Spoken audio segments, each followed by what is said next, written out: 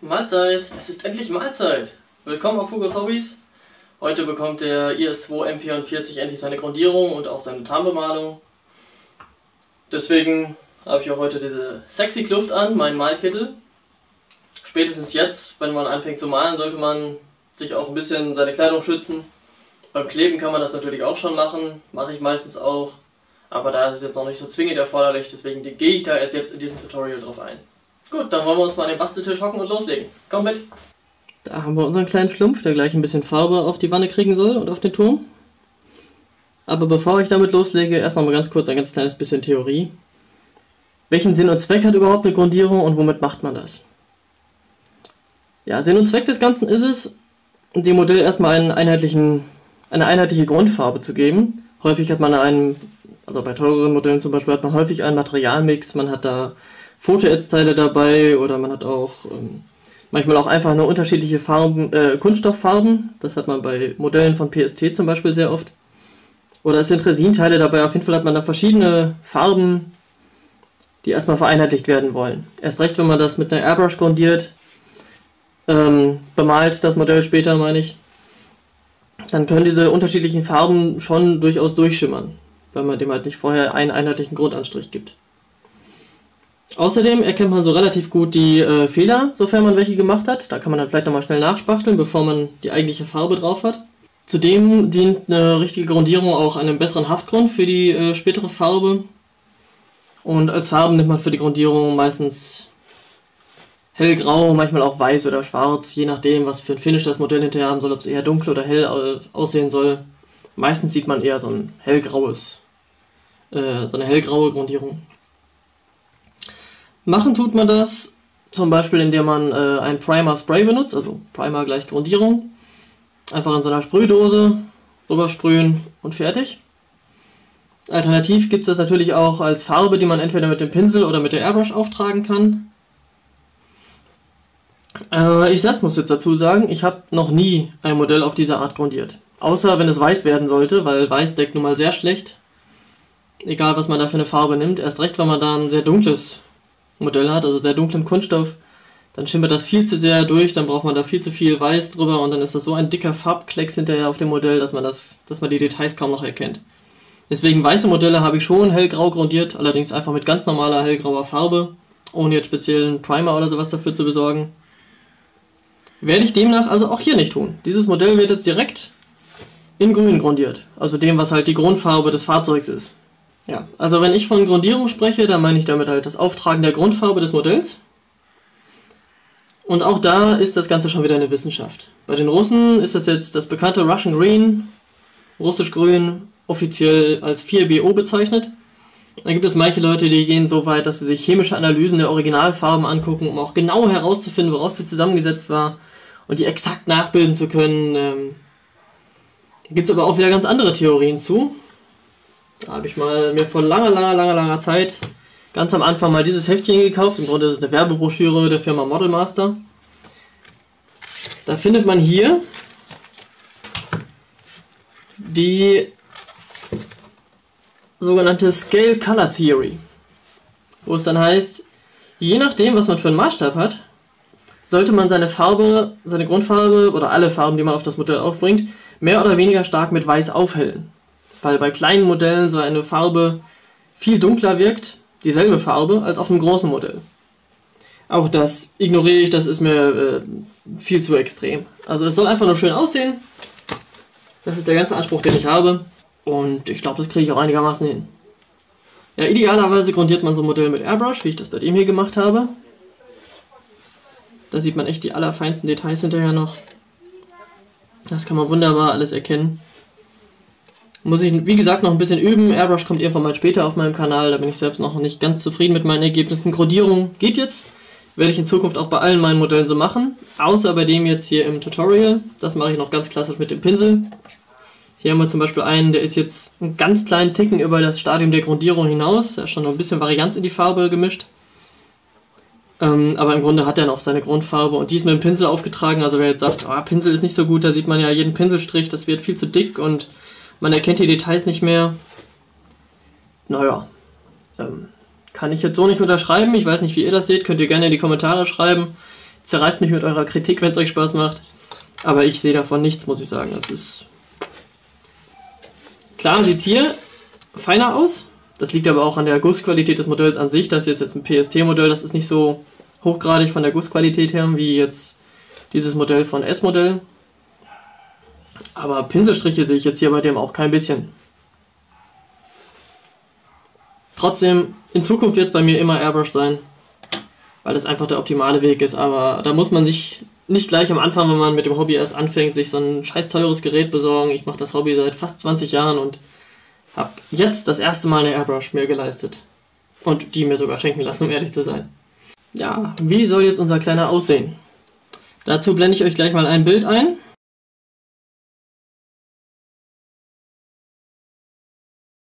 Mit freundlicher Genehmigung von Oliver von der Internetseite o5m6.de. Die werde ich euch auch unten verlinken. Der Oliver ist jemand, der früher selbst Modellbauer war und mittlerweile nur noch mit Computerprogrammen absolut hervorragende Farbprofile erstellt. Da gibt es auch einen sehr interessanten Link auf seiner Seite zu äh, russischen Tarnmustern. Die meisten denken jetzt, Russen hatten dieses klassische Grün. Stimmt nicht ganz. Es gab durchaus Tarnmuster auch in Russland des Zweiten Weltkriegs. In der Sowjetunion halt. Und ähm, ja, da könnt ihr gerne mal vorbeischauen. Ich verlinke euch das, wie gesagt. Und dieser IS-2 M44 wird jetzt getreu der Vorlage, die ich euch gleich einblenden werde oder schon eingeblendet habe, ich weiß gar nicht genau, wie ich das jetzt schneide, getreu der Vorlage eines IS-2 M43 bemalt. Für den M44 konnte ich jetzt keinen Beleg finden, dass die überhaupt ein Tarnmuster hatten während des Zweiten Weltkriegs. Aber mein Gott, was soll's. Da kann man ein bisschen die Fantasie spielen lassen. Mir gefällt das einfach sehr gut. Und gerade jetzt für ein Tutorial muss es ja nicht dieses in Anführungsstrichen langweilige Grün sein. Ich finde es nicht langweilig, ich finde es schön. Man kann es auch immer ein bisschen variieren. Aber da möchte man vielleicht auch mal sehen, wie klappt das mit so einem Tarnmuster und so weiter, damit ich das auch nochmal erklären kann. Kurz zu den Farben. Ich könnte jetzt natürlich, wie in meinem Einsteiger-Tutorial, einsteigen mit unter 30 Euro, auf solche Emailfarben von Revell zurückgreifen. Werde ich hier aber nicht. Ich grundiere meine Modelle seit langer Zeit immer nur noch mit Acrylfarben, in dem Fall von Tamiya. Das ist jetzt mein selbstgemischtes Grün, dazu gleich. Also die Grundfarbe und auch das Tarnmuster wird immer mit entsprechenden Tamiya-Farben aufgetragen, aufgrund der später noch folgenden Alterungsschritte. Da hätte ich Probleme, wenn ich das mit Emailfarben machen würde. Deswegen muss ich hier jetzt Acrylfarben nehmen, mag ich auch viel mehr von der Verwendung her mittlerweile. Also Einsteigern sei ja auch dringend dazu geraten, wenn ihr bei dem Tutorial weiter am Ball bleiben wollt, könnt ihr es ja gerne als Anleitung nehmen, selbst so ein Modell zu bauen, Schritt für Schritt dann braucht ihr da halt auch Acrylfarben für, sonst klappt das mit den späteren Alterungsschritten nicht mehr. Ja, kurz zu meinem Grün, das ist meine Interpretation des 4BO, des Russian Green. Ich notiere mir solche Farbmischungen immer mit so einem kleinen Zettelchen, damit ich die auch reproduzieren kann. Klar ist die Reproduktion nie 100%ig, aber sie ist mir genau genug. Wie gesagt, ein bisschen Variation in dem Grün ist ja auch nicht verkehrt. Und das ist auch eine Sache, die ich an den Tamiya-Farben sehr mag, wenn da so ein Pot leer ist. Das hier war mal in schwarz, wie man am Deckel unschwer erkennen kann. Dann kann man die wunderbar ausspülen und zum Aufheben und Mischen eigener Farben benutzen. So, genug gelabert. Jetzt wird endlich losgelegt. Ja, was brauchen wir jetzt zum Grundieren? Natürlich die Farbe. Dann brauchen wir Wasser, später um den Pinsel auszuwaschen. Gegebenenfalls um die Farbe zu verdünnen, aber das wird wohl nicht nötig sein. Auch das mache ich eigentlich nie. Auch das klappt immer problemlos, ohne dass die Details irgendwie verschwinden oder so. Dann brauchen wir Pinsel. Für die Grundierung benutze ich jetzt erstmal so einen relativ groben hier. Ich habe jetzt gerade keine, äh, keine Ahnung, was der für eine Größe hat, steht leider nicht dran. Der hat auf jeden Fall einen Durchmesser von 5 mm hier vorne am Kopf. Wichtig ist, dass ihr keinen Borstenpinsel nehmt, sondern einen weichen Haarpinsel. Und da ist es auch noch wichtig, je nachdem, mit was ihr jetzt grundieren wollt, wenn ihr jetzt doch Emailfarben nehmen wollt, die mit Lösungsmitteln ausgewaschen werden müssen, dann ist das natürlich besonders kritisch. Manche Haare neigen dazu, sich aufzulösen bei Lösungsmittelkontakt. Fragt da im Zweifel einfach mal bei dem Händler, wo ihr die Pinsel kauft. Dann brauchen wir noch Zahnstocher zum Umrühren der Farbe und ein Taschentuch. Später, wenn wir den Pinsel auswaschen, ich schüttel die Farbe immer erst. Sieht man hier, die Farbe ist jetzt noch ein bisschen schlierig, da sind dann ist noch nicht ganz so gut durchmischt. Ist aber jetzt eigentlich relativ egal, es wird dann ja auf dem Modell auch miteinander gemischt und verstrichen. Macht euch da also keine Sorgen, wenn das nicht so hundertprozentig aussieht. Selbst nach dem Umrühren hat man es manchmal, manchmal sind es auch bloß Lichtreflexe auf der Farboberfläche.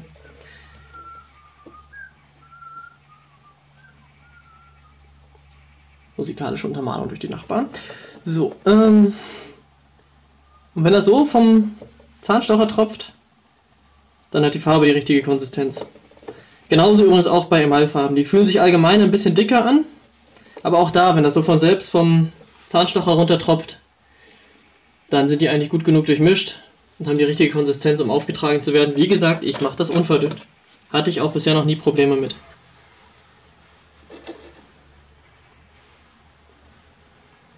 So.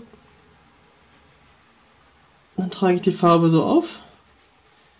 Mit dem Pinsel ein bisschen mehr tupfend als streichend, je nachdem.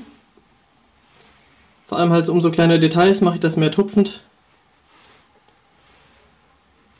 Da sie unverdünnt ist, brauche ich auch normalerweise nur einen Anstrich, um das Modell zu grundieren. Wenn es erstmal noch so ein bisschen dick aussieht um die Details, wie jetzt hier die Schaufel und so, macht euch da keine Sorgen. Gerade Acrylfarben, die verlieren noch so viel an Feuchtigkeit und ziehen sich so um die Details drumherum, dass sie nach dem Trocknen wunderbar zu erkennen sind, die Details. Auch hier um die Fahrerluke alles so ein bisschen tupfend auftragen.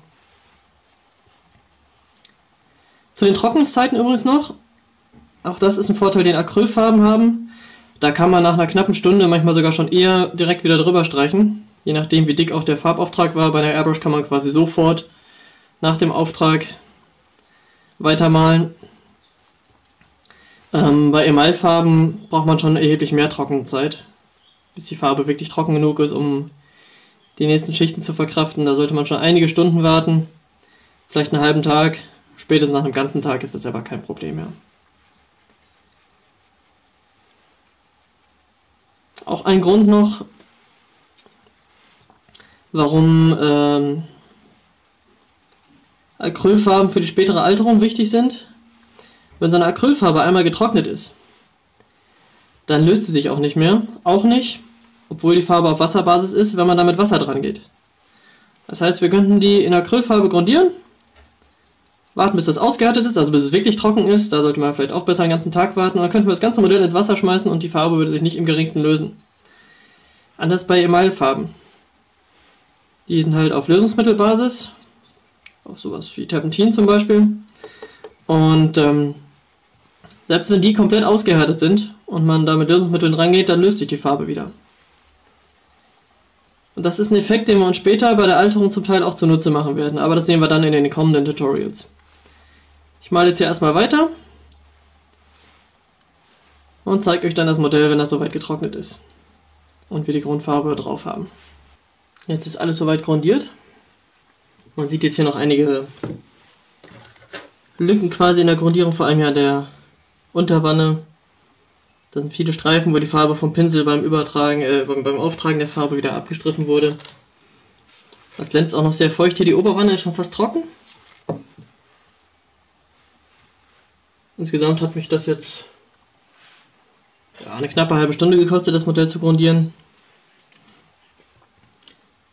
Und wenn die Farbe schon so ein bisschen angezogen hat, dann kann man diese Stellen auch wunderbar ausbessern. Einfach nochmal vorsichtig.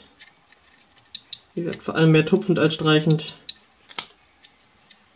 Über diese ganzen Stellen rübergehen, wo die Farbe nicht richtig beim ersten Mal gesessen hat.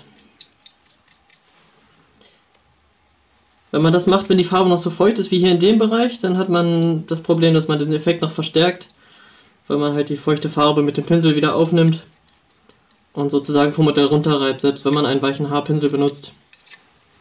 Deswegen erst ein bisschen anziehen lassen und dann diese Stellen auskorrigieren, nachkorrigieren. Gut, dann korrigiere ich jetzt hier noch eben die Fehler, lasse das Ganze trocknen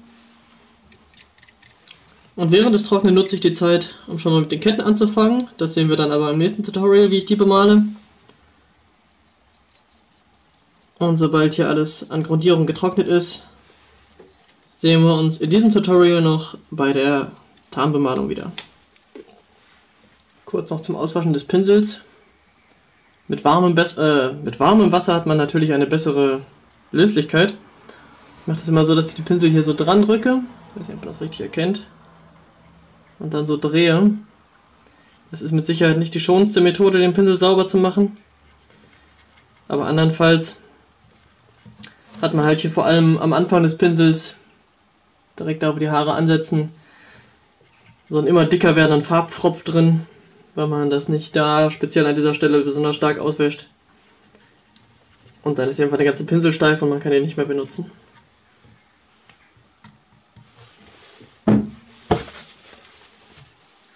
Ja, wie man sieht, da kommt keine Farbe mehr raus. So soll es sein. Pinsel ausgewaschen.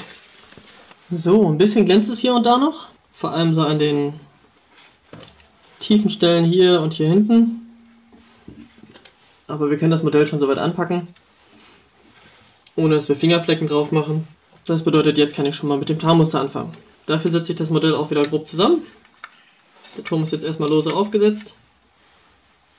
Aber das Tarnmuster geht ja, wie man in der Darstellung sehen konnte, in, der Abbildung von Oliver, ähm, geht das ja auch fließend von Turm in Wanne über. Das heißt, zur Tarnbemalung sollte es auch zusammengesetzt sein. Beginnen tue ich mit dem helleren Ton. XF60 ist das in dem Fall. Das bereits gekannte Spiel. Einmal kräftig schütteln, umrühren. Da merkt man, da hat sich am Boden noch einiges festgebappt. Das ist noch nicht richtig durchmischt. Also ein bisschen mehr mit dem Zahnstocher rühren. Konsistenz prüfen. Tropft. Sieht wunderbar aus. Und dann hoffe ich jetzt mal, dass dieses relativ helle Sandfarben auf dem recht dunklen Grün auch vernünftig deckt. Normalerweise macht man das eher andersrum, dass man mit dunklen Farben auf hellen Farben malt. Aber das werde ich schon irgendwie hinkriegen. Und wichtig dabei natürlich auch, dass man immer wieder mit seinem Referenzmaterial vergleicht. In dem Fall habe ich jetzt hier die Abbildung von Oliver auf meinem Handy. Sonst hätte ich es vielleicht auf dem Computerbildschirm, aber den habe ich gerade nicht vor mir. Oder ein Buch. Denn bei Tarnmustern finde ich persönlich es relativ schwierig, die realistisch hinzukriegen. Es sei denn, man hat wirklich gutes Referenzmaterial und malt dann quasi direkt danach. Da die Streifen, wie man gesehen hat, relativ schmal sind, benutze ich dafür einen Nullerpinsel. Also deutlich, deutlich dünner als der, den ich für die Grundierung benutzt habe. Aber jetzt auch nichts mega Feines. Auch hier benutze ich die Farbe direkt wieder unverdünnt. Suche mir für den Anfang markante Punkte, hier vorne zum Beispiel das Ende der Blende.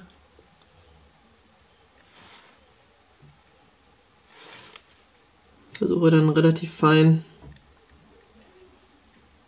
Tarnmuster aufzumalen.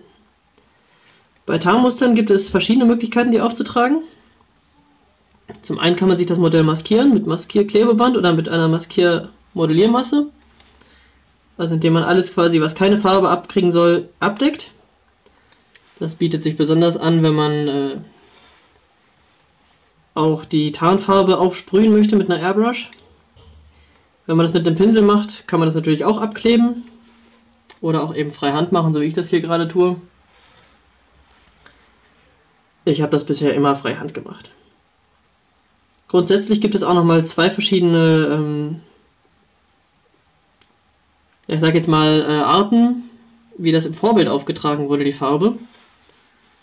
Und zwar einmal ebenso wie ich das gerade tue, mit einem Pinsel. Dann hat man einen scharfen Übergang zwischen der Tarnfarbe und der Grundierung. Oder aber eben auch mit einer Sprühflasche oder ähnlichem, dass die Farbe aufgesprüht wurde auf das Modell zur Tarnung. Und dann hat man in der Regel einen weichen Übergang. Es sei denn, da wurden im Original halt auch äh, Masken benutzt. Bei den Russen ist allerdings meistens alles per Hand aufgepinselt gewesen, wenn man sich die Archivbilder so auf, äh, anguckt. Da sind meistens die Farbübergänge recht, ja, recht scharfkantig recht deutlich zu sehen. Den Handgriff spare ich mal aus. Hier beim Bemalen. Das wäre ein bisschen albern. Den hätte im Original vermutlich auch niemand angemalt. Ja, dann mache ich jetzt mit der ersten Farbe einmal das ganze Modell. Und dann sehen wir uns gleich wieder, wenn das aufgetragen ist. So, die erste Tarnfarbe ist jetzt soweit aufgetragen. Das lasse ich jetzt erstmal durchtrocknen in Ruhe, damit ich das Modell wieder anfassen kann, um dann die zweite Tarnfarbe aufzutragen. Ja, die erste Tarnfarbe ist jetzt soweit getrocknet. Ich hatte natürlich nur diese Seitendarstellung von dem Fahrzeug als Vorlage. Ja, das muss ich dann natürlich frei interpretieren. Aber ich glaube, ich habe einigermaßen den Gedanken dieses Tarnmusters eingefangen und wiedergegeben. Womit ich nicht ganz zufrieden bin, das sind diese ganz feinen Zipfel, so wie hier. Da waren in dem Farbprofil vom Oliver doch deutlich mehr zu sehen, aber das geht schon in Ordnung, glaube ich. Da hätte ich vielleicht einen noch äh, feineren Pinsel nehmen sollen. Aber so entscheidend ist das jetzt auch nicht. Der Gesamteindruck ist ganz okay. Dann machen wir jetzt mit dem Braun weiter. Da nehme ich XF10. Das übliche Spiel, schütteln, rühren, Konsistenz prüfen. Das sieht super aus. Was man muss auch machen kann nach dem Schütteln, hat man hier einiges an Farbe im Deckel.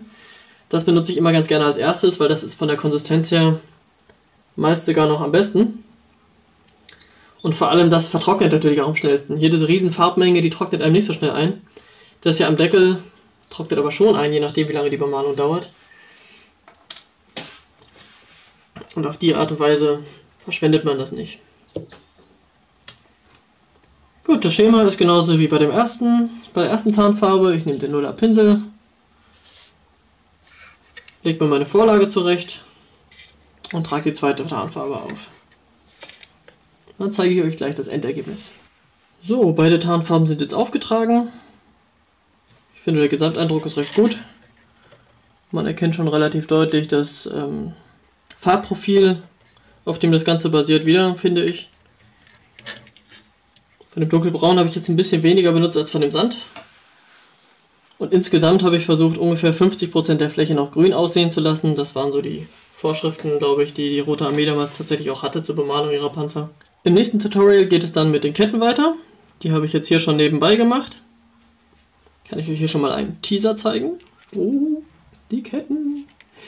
Ja, also da habe ich die Trocknungszeiten für ausgenutzt. Das bietet sich immer an. Ja, das war soweit zu Grundierung bzw. Grundfarbe und Tarnmuster. Das fasse ich als eins zusammen, weil alle Alterungsschritte, die jetzt folgen, müssen bei einem Fahrzeug mit Tarnmuster auf beidem aufgebracht werden. Also auf der Grundfarbe und den Tarnfarben. Wenn ihr irgendwelche Fragen habt, Kommentare, nutzt die Kommentarfunktion. Ich bedanke mich fürs Zuschauen. Passt auf euch auf, Leute, und bis zum nächsten Video. Ciao, ciao.